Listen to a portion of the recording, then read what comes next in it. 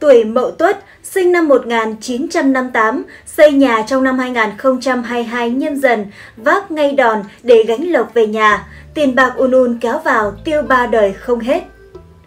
Rất vui được đồng hành cùng với quý vị khán giả trong chương trình Phong thủy Gia Cát ngày hôm nay. Kênh Phong thủy hữu ích về đời sống phong thủy tâm linh được tư vấn bởi thầy Gia Cát cùng với các thầy trong Hiệp hội Phong thủy và Tâm linh Việt. Quý vị thân mến, ông bà ta thường có câu cẩn tắc, vô áy náy. Trong việc xây nhà cũng vậy, cần phải xem xét kỹ càng tất cả mọi yếu tố, đặc biệt là vấn đề kiêng kỵ trong phong thủy. Trong quá trình đi tư vấn thực tế cho thấy không ít nhà đã coi thường phong thủy mà dẫn đến việc phạm vào những điều đại kỵ khiến cho người nhà không may bị tử vong. Điều đáng nói là nạn nhân lại chính là trụ cột trong gia đình. Cho nên sau khi chết đã để lại cho gia đình một gánh nặng về kinh tế, cuộc sống của những người còn lại thật nheo nhóc và đáng thương. Hơn nữa lại bị dân làng đồn thổi, có lẽ gia đình này đã không xem phong thủy trước cho nên đã phạm phải những điều đại kỵ khi xây nhà. Chính vì vậy, để tránh những điều ảnh hưởng không tốt cả về thể chất lẫn tinh thần khi xây nhà, gia chủ tuổi Mậu Tuất cần phải nhất định xem xét kỹ về phong thủy.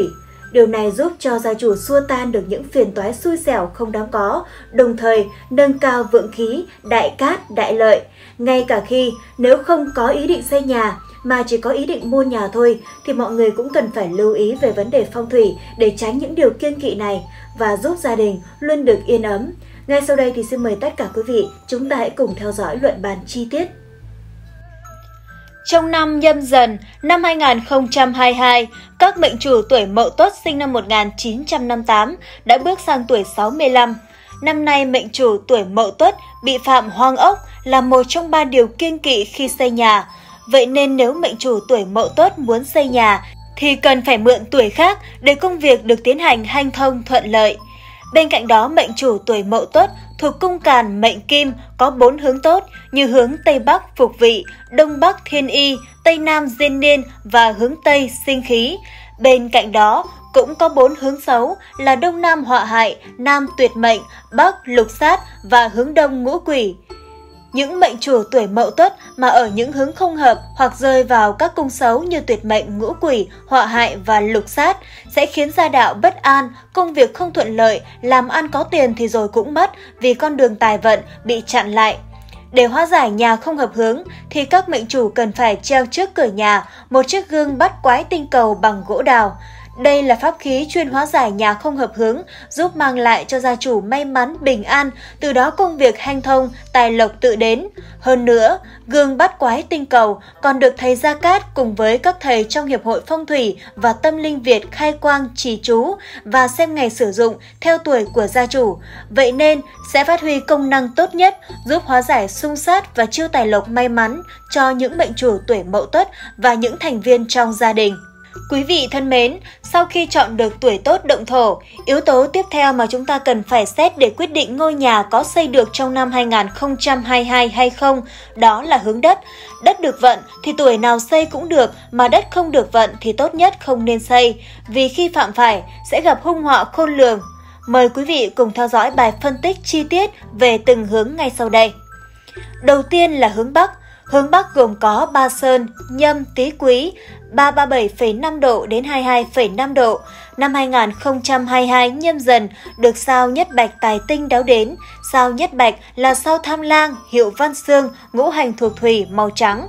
Mùa thu tiến, mùa đông vượng, mùa xuân tiết, mùa hạ tử. Kẻ sĩ gặp nó ắt được lộc của nó, mà người thường gặp nó nhất định tiền bạc sẽ vào nhà. Đây là đệ nhất cát thần. Nhất bạch lại là quan tinh, nếu nó đường vượng, hình thế loan đầu bên ngoài lại có thủy phóng quang thì khoa cử đỗ đạt, danh lừng bốn bể, sinh con trai thông minh, trí tuệ. Nó mà suy tử thì hại vợ, không thọ, cuộc đời trôi nổi lênh đênh, mắc nhiều bệnh tật về huyết, thận hư hoặc thành kẻ nghiện ngập trộm cướp. Nhất bạch gặp phương Bắc là tị hòa, nếu vượng thì có lợi cho tài văn chương hoặc các công việc về văn, mà nếu suy thì dễ bị bệnh về máu, nghiện ngập hoặc chìm đắm trong tửu sắc. Vậy nên với những nhà hướng Bắc, năm 2022 nhâm dần, hãy treo trước cửa một pháp khí phong thủy, mai hoa phú quý, Đồng thời, tại phương vị này trong phòng khách cũng nên đặt một tháp văn xương kích vận để nghênh sao nhất bạch, giúp cho đường quan vận và học hành của những thành viên trong gia đình được hanh thông, may mắn. Hướng Bắc là một trong bốn hướng xấu với mệnh chủ tuổi Mậu Tuất, bởi với mệnh chủ, ở hướng này sẽ bị phạm vào cung lục sát. Lục sát là sao văn khúc, có ngũ hành thuộc thủy, cung là hung tinh, đem sát khí vào nhà, ứng với các tai nạn về lửa, dâm đãng và thị phi. Vậy nên mệnh chủ tuổi Mậu Tuất cần phải sử dụng pháp khí, gương bắt quái tinh cầu được làm bằng gỗ đào để hóa giải. Thứ hai là hướng Nam. Hướng Nam gồm có Ba Sơn, Bính, Ngọ, Đinh, 157,5 đến 202,5 độ. Năm 2022 nhâm dần, những nhà tọa tý hướng ngọ bị phạm vào tam sát.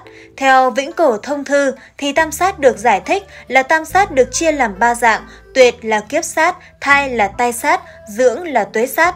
Nói đơn giản hơn thì kiếp sát, tai sát và tuế sát chính là vị trí tuyệt thai và dưỡng của địa chỉ.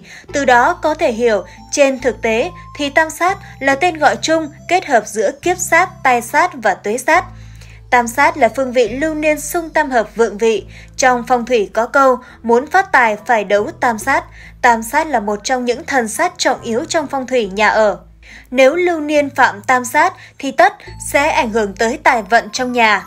Cũng dễ vì thế mà gặp họ phá tài, lộ tài, người nhà ốm đau bệnh tật, tai nạn bất ngờ. Vậy nên những nhà hướng Nam trong năm nay xây mới cần phải hết sức lưu ý.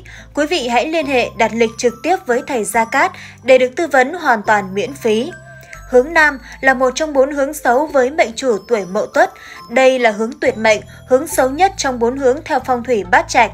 Tuyệt mệnh là sao phá quân, thuộc hành kim là hung tinh, xấu nhất trong tám sao, đem đến tuyệt khí tử khí vào nhà, gây ra tai họa cho các gia chủ. Hướng này mà gặp tuyệt mệnh thì càng nguy hiểm hơn vì lại gặp tăng khắc về ngũ hành, cho nên sự nguy hiểm của nó càng lớn hơn. Chính vì vậy, các mệnh chủ cần phải chú ý và cần phải treo trước cửa nhà một chiếc gương bắt quái tinh cầu để hóa giải. Tiếp theo là hướng đông. Hướng đông gồm có Ba Sơn, Giáp, Máu, Ất 67,5 đến 112,5 độ.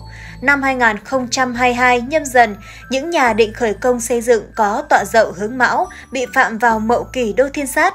Mậu Kỷ Đô Thiên Sát là một trong năm sát tinh lớn nhất của năm, ảnh hưởng trực tiếp đến trạch đất của quý vị. Chính vì nó thuộc một trong năm sát tinh, cho nên trường khí của nó rất mạnh, ảnh hưởng trực tiếp đến sự hưng vượng của ngôi nhà. Vậy nên quý vị hãy sử dụng la bàn phong thủy, đo kỹ lưỡng, rồi liên hệ trực tiếp với thầy Gia Cát để được tư vấn hoàn toàn miễn phí. Bên cạnh đó, hướng đông là hướng ngũ quỷ với mệnh chủ tuổi mậu tuất, cũng là một trong bốn hướng xấu cần phải tránh, vì ngũ quỷ là sao liêm trinh thuộc hành hỏa, là hung tinh xấu thứ hai so với tuyệt mệnh. Nó đem đến những chuyện quỷ quái, bệnh hoạn và các tai nạn liên miên xảy đến.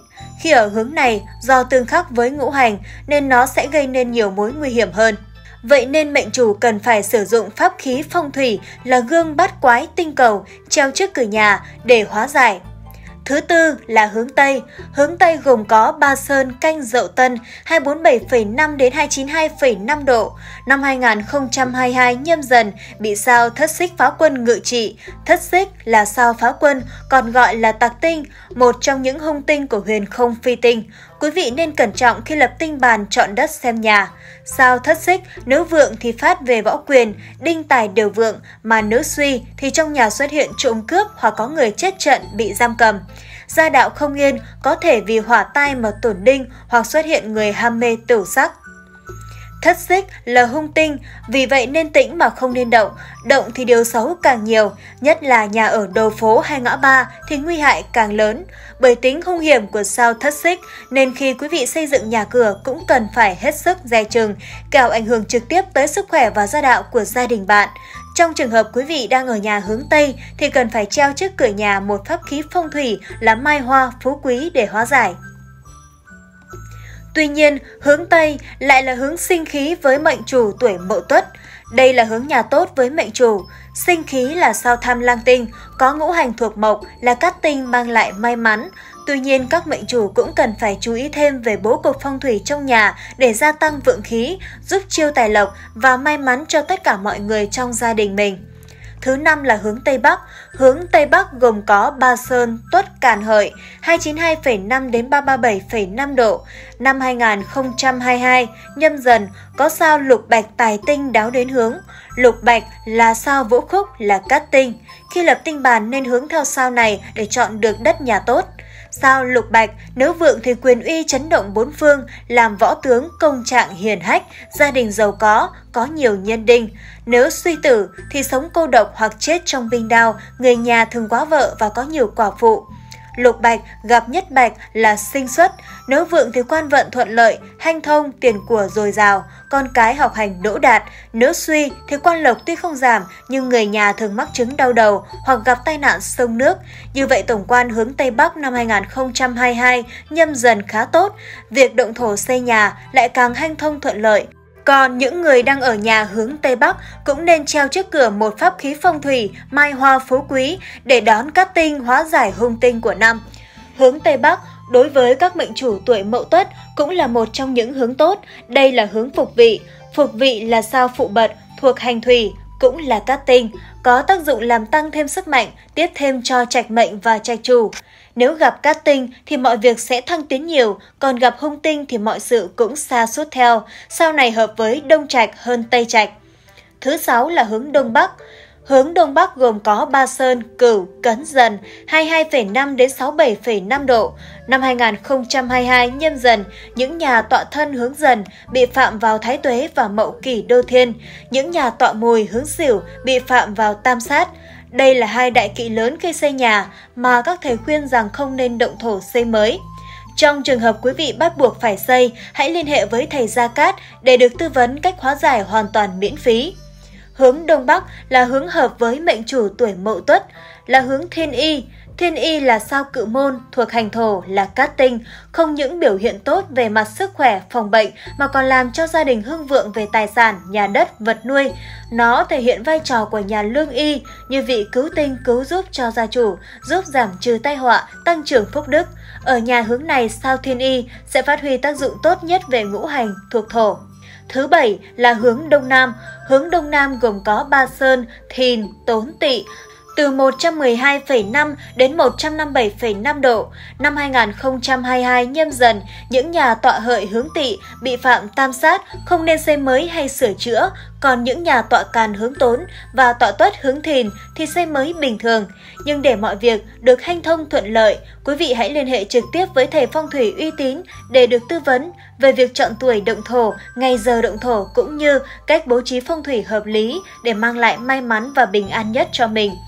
Bên cạnh đó, hướng Đông Nam là một trong bốn hướng xấu với các mệnh chủ tuổi mậu tuất.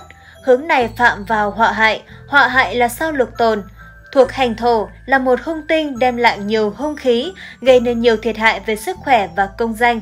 Nó làm cho con cái đần độn, bất lương, bệnh tật ốm đau, tài sản xa sút Vậy nên quý mệnh chủ cần phải hóa giải bằng cách treo trước cửa nhà một chiếc gương bát quái tinh cầu bằng gỗ đào.